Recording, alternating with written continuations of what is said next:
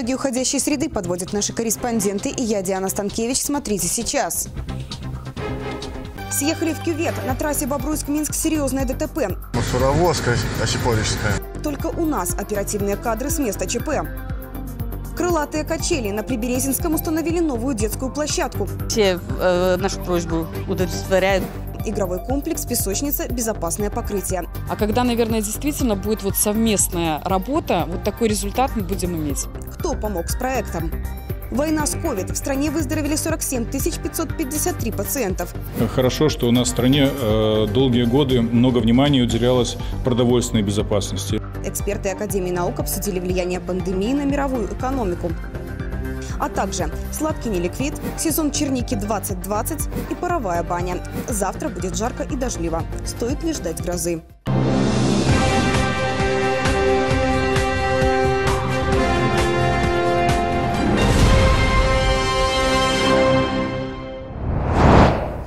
Стране выздоровели 47 553 пациента, у которых ранее был подтвержден коронавирус. Зарегистрированы 62 424 человека с положительным тестом. Врачи провели свыше миллиона 13 тысяч исследований. Эти данные приводит Минздрав. После длительной паузы в национальный аэропорт Минск прибыл первый самолет авиакомпании «Люфтганза». До этого крайний пассажирский рейс состоялся 18 марта. Между тем, в Национальной академии наук провели семинар, посвященный мерам борьбы с COVID-19. Закрытие границ, запреты на торговлю, ограничения авиасообщений. Теперь особое внимание, как сообщается, стоит уделить IT-сфере, робототехнике, сельскому хозяйству. Необходимо уделить особое внимание э, сферам деятельности и отраслям, обеспечивающих базовые потребности человека. Э, конечно же, очень Хорошо, что у нас в стране э, долгие годы много внимания уделялось продовольственной безопасности. Это очень сильно способствовало э, устойчивому развитию э, нашей экономики даже в период кризиса. Горькая правда. Областная инспекция госстандарта нашла в магазинах Бобруйска опасные конфеты и пирожные. Все сладости сделаны в России. В десерте подушечка фруктовая в сахаре обнаружены синтетические красители, не указанные на упаковке. В черном списке также оказались эклеры со сливками. Лабораторная экспертиза доказала, в креме присутствует кишечная палочка. Превышено допустимое содержание дрожжей. К тому же пирожное содержит запрещенный в Беларуси консервант – бензойную кислоту. Некачественную продукцию сняли с прилавков. Оба в кювете. Недалеко от Осиповичей произошло серьезное ДТП. Мусоровозка Осиповичская. Последствия аварии сняли водители, проезжающие мимо. На кадрах видно, по обе стороны четырехполоски Бобруйск-Минск лежат автомобили. Один большой груз, второй похож на мусоровоз. На дороге разбросаны осколки, пробито разделительное ограждение. ГАИ перекрыли по одной полосе с обеих сторон. На месте работают спасатели и скорая помощь. Стали очевидцем происшествия? Бьетесь над решением наболевшей проблемы? Есть эксклюзив? Корреспонденты «Бобруйск-360» готовы выехать на место событий прямо сейчас. Телефон горячей линии на ваших экранах. Детский мир. Во дворе на Приберезинском бульваре установили новую игровую площадку. Современный комплекс возвели благодаря усердию горожан и усилию городских властей. Анастасия Похлестова знает, кто еще помогал. Вместо старой лавочки качели настоящий игровой комплекс. Двор возле 24-го дома на Приберезинском бульваре не узнать. Старт обновлением дали неравнодушные жильцы. Наталья Котова обратилась к депутату Палаты представителей Вере Широкой. Просьбу услышали. Конечно же, не ожидали такой реакции. Все было на высшем уровне. Оказали помощь. Выходили, мы же общаемся. Была поддержка. Были собраны небольшие, конечно, денежные средства. К помощи подключились городские предприятия. Сотрудники организации по обслуживанию жилфонда уложили тротуарные борта и плитку, установили и зафиксировали оборудование. Лекпромразвитие выделило экопокрытие, БУГД подарил несколько туй. Сейчас производим работы по планировке грунта, выравниванию, будет высеян газон. Я думаю, детям здесь понравится будет весело играть. Рабочие укладывают экоплиты. Панели складывают как пазл. Материал прочный, долговечный. Откликнулись и учащиеся механико-технологического колледжа. Парни лихо орудуют инструментами. Местная детвора, которая то и дело крутится вокруг, не отвлекает. Когда мне предложили помочь э, благоустроить детскую площадку, я с радостью согласился. Мы устанавливали забор и равняли песок для детской площадки. Жильцы многоэтажки не скрывают радости. За досуг подрастающего поколения можно не переживать. В будущем мечтают взрослые новых новых детских сооружений станет больше. Мы рады, наши детки рады, что наконец-таки у них будет достойная площадочка. Ну и мы будем стараться по мере возможности, чтобы это все сохранилось для наших внуков, для правнуков. Все-все э, нашу просьбу удовлетворяют, что мы просим, все делают для нас, для наших деток. Мальчики и девочки успели опробовать качели и горки. Комплексу поставили высший балл. Я буду часто гулять и кататься на качели. Депутат Вера Широкая уверена, лишь совместная работа населения и власти способна привести к положительному результату. Они и забор сделали, и э, плиточку купили, бордюрный камень купили, и вложились, ну, грубо говоря, привлекли жильцов, то не поддержать такую инициативу мы не могли. Если у нас будет в городе Бобруйске побольше таких активных жителей, которые готовы вкладываться, не только ждать, когда что-то принесут, дадут и сделают службу ЖКХ, а когда, наверное, действительно будет вот совместная работа, вот такой результат мы будем иметь. Жильцы высотки уверены, теперь площадка будет местом притяжения всей детворы. Анастасия Похлёстова, Максим Галеонко, Бобруйск, 360. Изменение июля, новый электромаршрут и биопосуда. В стране планируют запустить производство тарелок из стаканчиков из отрубей. В чем польза? Далее обзор самых обсуждаемых заголовков дня.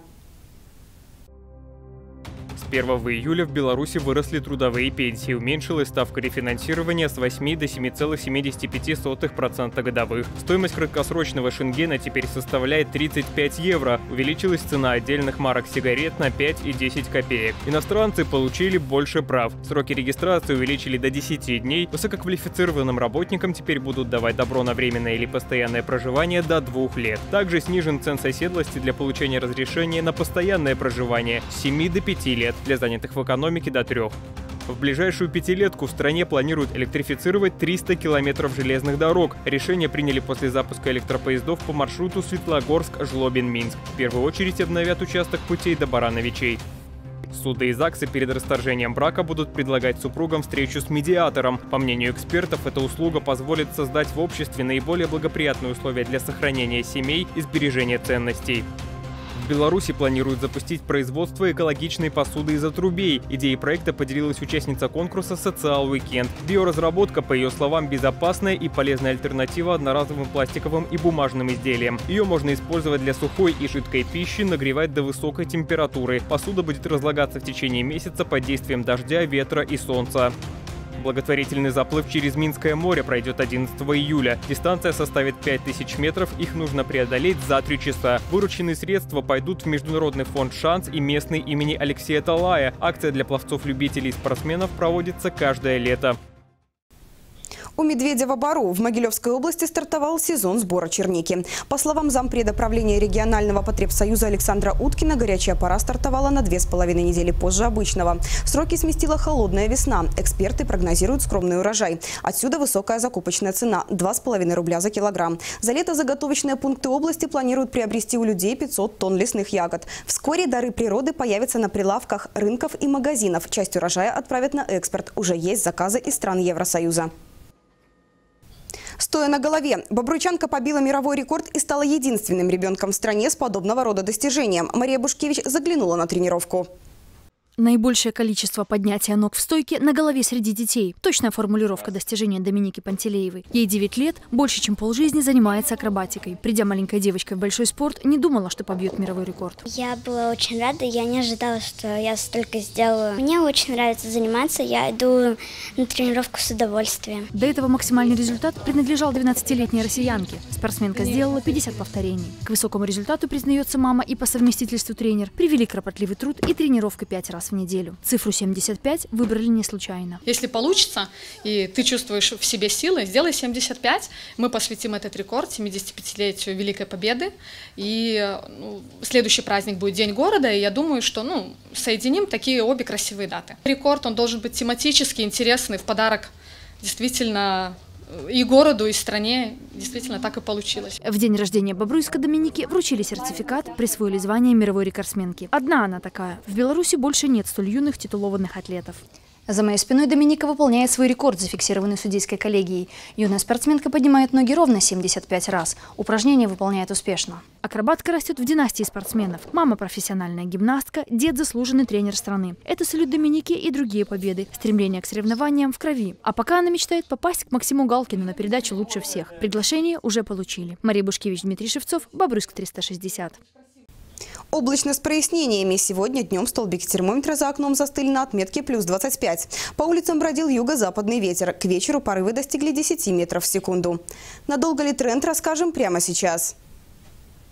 Не продохнуть. Судя по прогнозам синоптиков, завтра страна превратится в паровую баню. В отдельных регионах ожидаются ливни с грозами. На юге температура повысится до 30 с плюсом. Солнце слезы высушит. Влажность подскочит до небес. Атмосферное давление существенно не изменится. Американскую Южную Каролину охватили лесные пожары. Пламя быстро расползлось и настигло жилые дома. 40 построек сгорели дотла. Один человек скончался. В округе Империал экстренно эвакуируют население. На борьбу со стихией отправились около 130 спасателей. Тем временем по Одесской области Украины промчался смерч. Местные сняли опасное явление на видео. Стремительно воздушный вихрь двигался по полю. Торнадо подняло в воздух стол пыли и мелкого мусора. О пострадавших и разрушениях не сообщается. Сильные дожди спровоцировали массивный оползень в районе города Дарджилинг в западной Бенгалии. Обвал повредил участок главной дороги в предгорьях Гималаев. Транспорт стал в пробке.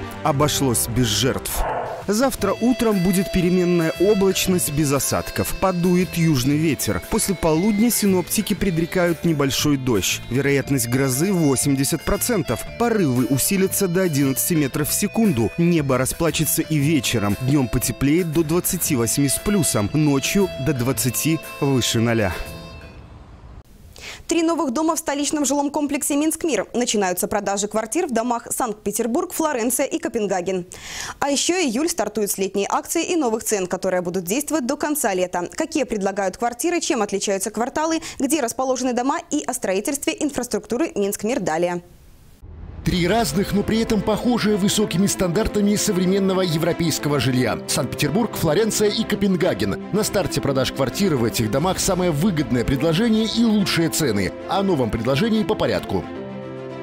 Санкт-Петербург в квартале Евразия состоит из двух секций по 19 этажей. Квартиры от 30 до 86 квадратных метров. Тут можно оборудовать и небольшую студию и просторную евро-четверку. На первом этаже просторное лобби с двумя выходами и коммерческие помещения. Часть квартир второго этажа с собственными террасами. Окна в пол из специального стекла, которое невозможно разбить. Высокие потолки, скоростные и бесшумные лифты, один из них панорамный. В квартале Евразия всего 8 жилых домов, здание коммунальной службы, внутри детский сад на 2 230 мест. Рядом метро, новый городской парк. Дом сдадут в феврале 2022 года.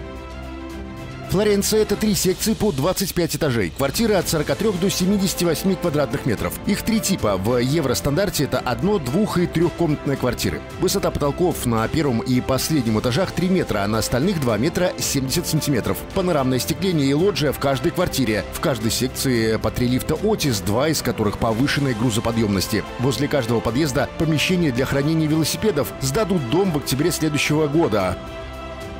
Дом Копенгаген в квартале Северная Европа вдоль улицы Кижеватова. Здесь построят детский сад на 230 мест, детскую и взрослую поликлиники. На севере к кварталу примыкает новый городской парк. В доме 25 этажей, квартиры до 74 квадратных метров. Шесть квартир первого этажа имеют отдельный вход прямо со двора. При этом на террасах предусмотрены калитки на придомовую территорию и стеклянные козырьки от осадков. Дизайнерское лобби, гранит, скоростные лифты. Сдадут дом в сентябре следующего года. У покупателей должен быть выбор. Они должны иметь возможность выбрать расположение дома, площадь квартиры, планировку и даже вид из окна. Только при таких условиях покупка квартиры принесет удовольствие и станет важным событием жизни семьи. Мы проанализировали, что в свободной продаже осталось недостаточное количество квартир для широкого выбора и решили начать продажи сразу трех домов несколько ранее запланированных сроков. Отмечу, что все дома, в которых стартовали продажи квартир, уже на стадии строительства.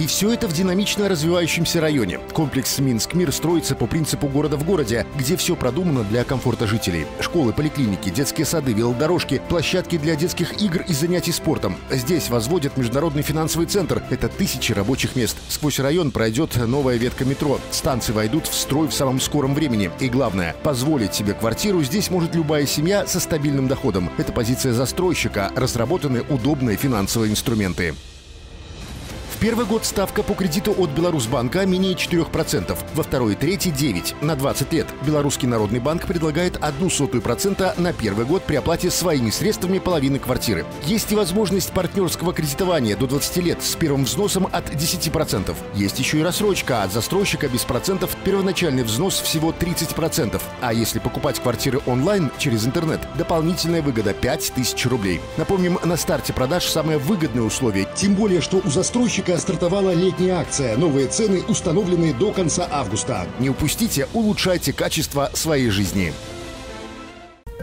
Это все из событий к этой минуте. Сразу после нас «Сирена». Громкие ЧП за неделю – страшная правда из жизни города. Следите за новостями в интернете и соцсетях. Мы в эфире каждый будний вечер. Счастливо!